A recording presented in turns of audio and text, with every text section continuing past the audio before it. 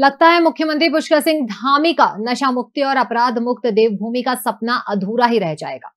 क्योंकि शासन प्रशासन के लगातार कार्रवाई करने के बावजूद भी अवैध हथियार और नशे की अवैध तस्करी करने वाले अपनी हरकतों से बाज नहीं आ रहे हैं।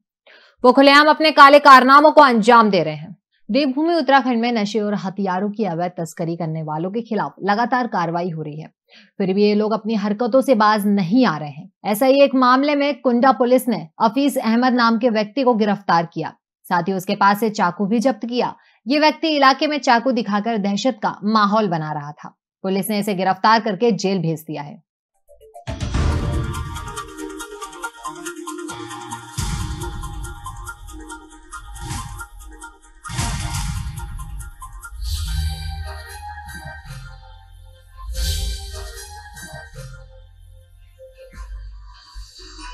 आप देख रहे हैं दखल न्यूज़।